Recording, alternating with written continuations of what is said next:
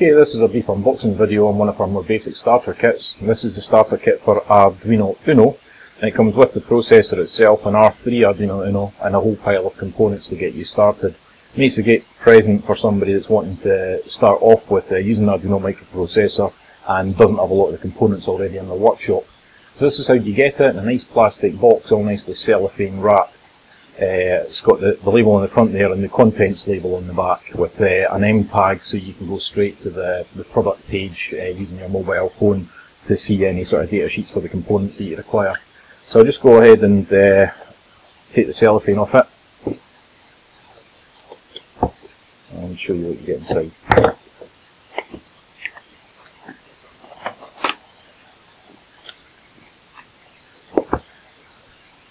Okay, so take the lid off the box and the first thing you get is uh, a USB A to B lead. That's about 3-4 inches long, uh, three, sorry, 3 or 4 feet long, it's 1.8 metres long. And uh, you then get a number of component packs. You get a pack of switches there, uh, push button switches and slide switches, speak about them in detail in a wee minute. Pack of capacitors, uh, a little pack with buzzers and pots and tilt switches etc. Uh, you get three different values of resistors there.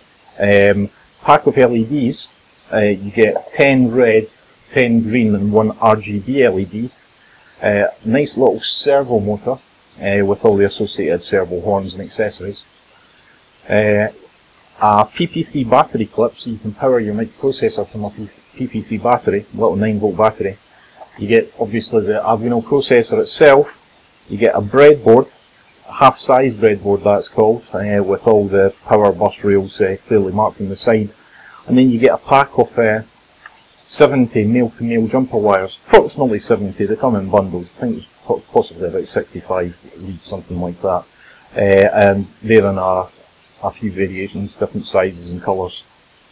So what we'll do is just put this to the side and I'll uh, open up the packs and show you what you get in each pack in detail. Okay, the first pack that you get is the LED pack. Like I mentioned, you get 10 red, 10 green and 1 RGB LED. Now the red and green are 3mm LEDs, we provide these because we like the size of them. Then the RGB is a 5mm RGB. Now hopefully you can just see that the, the legs there are different lengths and the longest leg on this RGB LED, the white one, is the cathode. The uh, longest leg on the red and green LEDs is actually the anode. You can see on the, the red and green LEDs that they've got a flat on one side of the LED and that's attached, the flat is um, indicating the shortest leg and that flat indicates the cathode. So you get 10 red, 10 green and 1 RGB LED.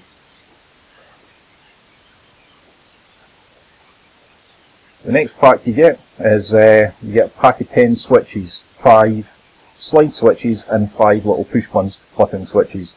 And these switches are fantastic because they're breadboard compatible. You can just uh, pop them on your breadboard when you're uh, when you're prototyping your circuit. And these switches, we actually uh, these switches cost us quite a lot of money to buy in. They're not your standard metal cased switches that are just clamped onto a piece of FR4 breadboard. These are really nice plastic encased power type switches. Uh, so we've provided these so that you get a bit of longevity out of them so they last longer.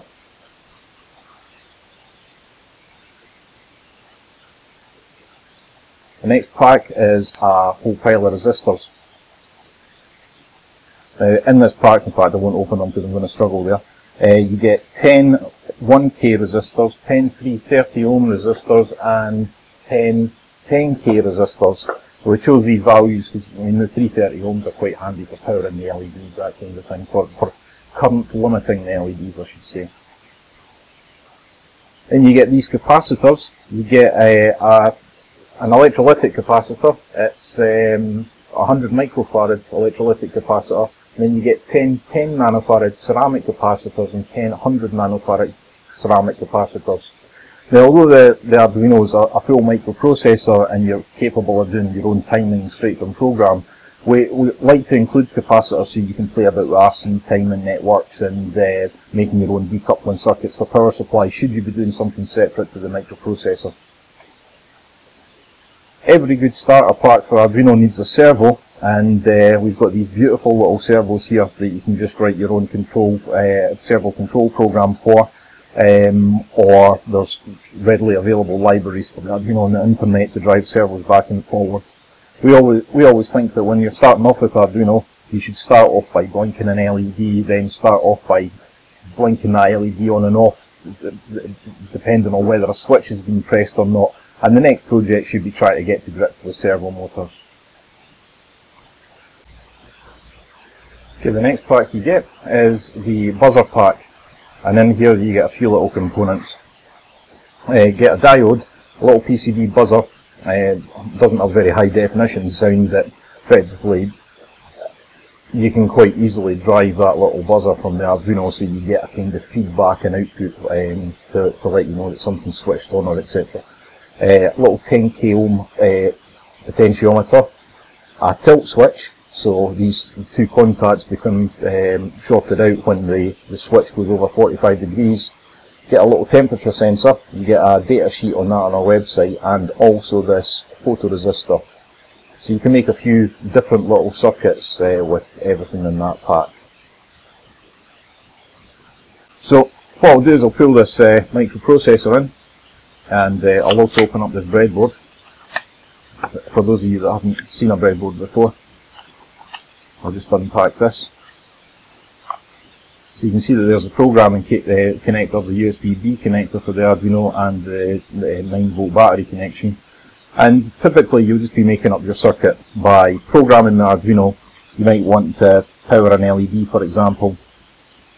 So you just place the LED in the breadboard and then you use the jumper wires to connect between the, the Arduino and the, the breadboard. Like that, simple as that. That's not a that's not a working circuit, I should say, for those of you that want to comment on that. But uh, you know, it, it typically shows that the use of the male-to-male jumper wires for quickly breadboard when prototyping your circuit.